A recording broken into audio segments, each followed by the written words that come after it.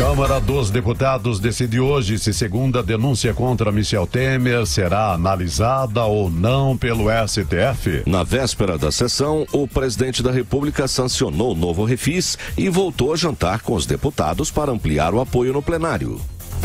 Oposição faz nova tentativa no Supremo Tribunal Federal para dividir a votação da denúncia contra Michel Temer e ministros. Deputados do PT querem que a sessão seja em quatro partes, sobre cada acusação contra o presidente e sobre Eliseu Padilha e Moreira Franco. Professor Vila, bom dia. Pode-se esperar alguma surpresa? Tudo indica que não.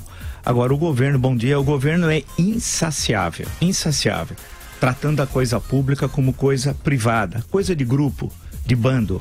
É, vide ah, esse novo refis. Isso é um escândalo. Quer dizer, quem paga os impostos, o empresário que cumpre suas obrigações, esse faz papel de trouxa. Por quê?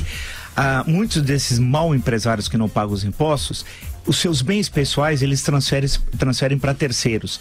E eles pagam, quando faz o refis, uma, duas, a terceira parcela. Aí deixa de pagar aguardando um novo refis. Vem um novo refis, sempre em condições favoráveis, eles pagam a primeira, segunda, terceira deixa de pagar, aguarda um novo refis e nunca vai acontecer nada contra eles, inclusive porque seus bens pessoais eles já transferiram a terceiro. Essa é a jogada da malandragem, né? E infelizmente tudo indica que a, a denúncia não vai passar, ou seja, não vai seguir o trâmite constitucional seria encaminhar ao STF. Vale destacar que a denúncia é do campo jurídico e vai ser julgada por um órgão estritamente político, a Câmara dos Deputados. Então, mais uma vez, o Brasil está à venda. Esse é o Brasil de hoje. Isso vai acabar, eu estou dizendo há meses, vai acabar muito mal.